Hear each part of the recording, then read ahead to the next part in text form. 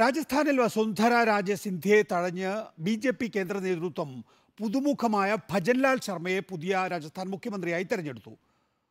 ദിയാകുമാരിയും പ്രേംചന്ദ് ഭൈരവയും ഉപമുഖ്യമന്ത്രി ഉപമുഖ്യമന്ത്രിമാരാകും വെള്ളിയാഴ്ചയാണ് സത്യപ്രതിജ്ഞ. ഛത്തീസ്ഗഡിനും മധ്യപ്രദേശിനും ശേഷം രാജസ്ഥാനിലും ബി ജെ പി പുതുമുഖ പരീക്ഷണത്തിലൂടെ സർപ്രൈസ് മുഖ്യമന്ത്രിയെ പ്രഖ്യാപിച്ചിരിക്കുകയാണ്. സംസ്ഥാനത്ത് വസുന്ധര രാജ സിന്ധ്യ യുഗത്തിന് അന്ത്യമിട്ടുകൊണ്ടാണ് ആദ്യ തവണ എം എൽ എ ആയിട്ടുള്ള ബജൻലാൽ ശർമ്മയെ മുഖ്യമന്ത്രിയാക്കിയത്.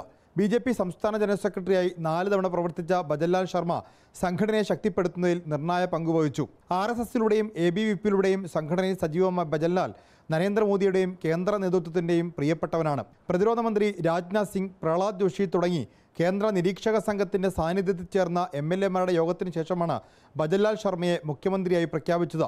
വസുന്ധരായ് സിന്ധിയാണ് ബജൻലാലിന്റെ പേര് പ്രഖ്യാപിച്ചത്. സംഗനേർ മണ്ഡലത്തിൽ നിന്നുള്ള എം എൽ എ ആണ് ഭജൻലാൽ ശർമ്മ.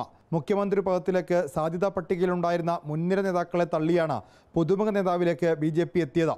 ഛത്തീസ്ഗഡിൽ ആദിവാസി വിഭാഗത്തിൽ നിന്നും മധ്യപ്രദേശിൽ ഒ ബി സി വിഭാഗത്തിൽ നിന്നും മുഖ്യമന്ത്രിയെ തെരഞ്ഞെടുത്തപ്പോൾ രാജസ്ഥാനിലെ മുഖ്യമന്ത്രി ബ്രാഹ്മണ വിഭാഗത്തിൽ നിന്നാണ്.